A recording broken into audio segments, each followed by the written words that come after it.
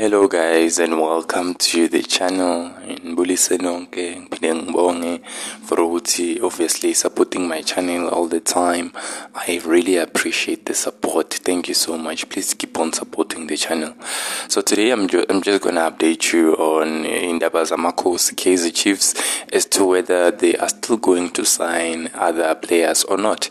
As we know guys the transfer window will close nge-22 zaye ke manje September. So there's still two weeks for Chiefs, for Pirates, for other teams in the PSL to go out and sign players, you know, and transfer and all of that. Uh, there's still time. Uh, with regards to Kaizer Chiefs, yeah, uh, we do know. Arthur Zwane did say Uti, they are still in a building phase. They are still, you know, building their team and all of that. As they got uh, a lot of new players, they signed a total of eight players now, and we have seen uh, all of them play except for Edmilson Dove thus far. So we hope that now also it all like opportunity.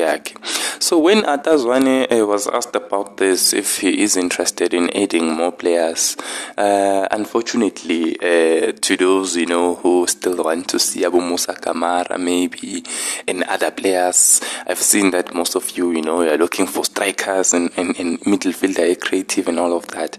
But Arthur Zwane said Uti he is not uh, looking forward to signing new players.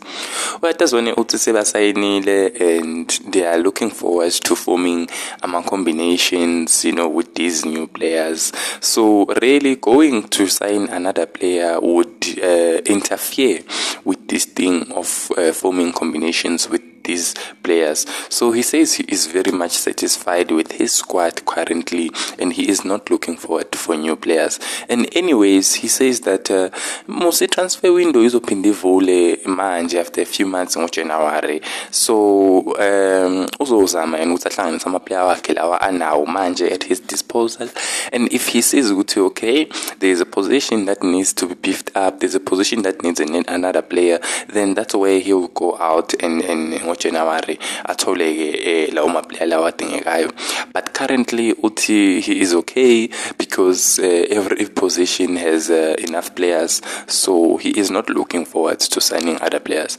So yeah there you have it ke bafethu. Uh, this is what he said to the Kaizer Chiefs official page.